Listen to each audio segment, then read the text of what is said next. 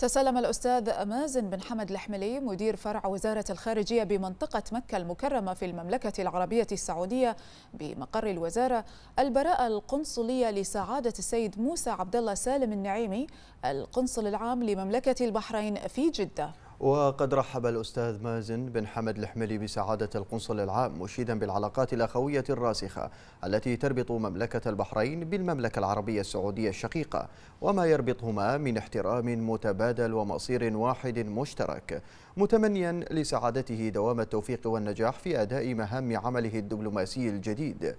وبدوره ثمن سعادة القنصل العام العلاقات التاريخية الوثيقة والمتجذرة التي تجمع مملكة البحرين بالمملكة العربية السعودية مؤكدا حرصه على بذل قصارى جهده لأداء مهامه على أكمل وجه متمنيا للمملكة العربية السعودية دوام الرفعة والمنع والازدهار.